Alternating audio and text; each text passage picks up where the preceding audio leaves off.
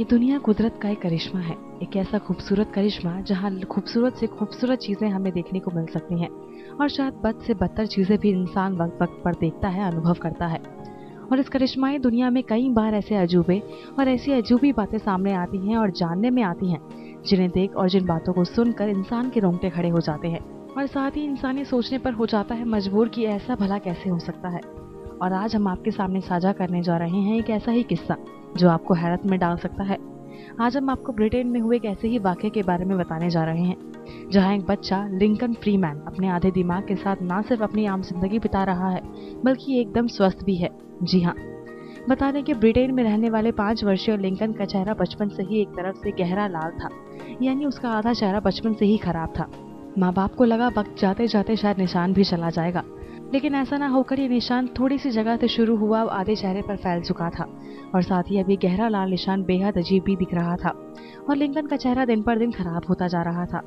जब लिंकन को डॉक्टर के पास ले जाया गया तो डॉक्टर्स ने लिंकन का एमआरआई स्कैन किया और पाया कि लिंकन के आधे दिमाग में स्टूट्स बेवर सिंड्रोम हो गया था, जिस वजह से नन्हे से लिंकन को एक ही दिन में 80 से ज़्यादा बार दौरे पड़ते थे।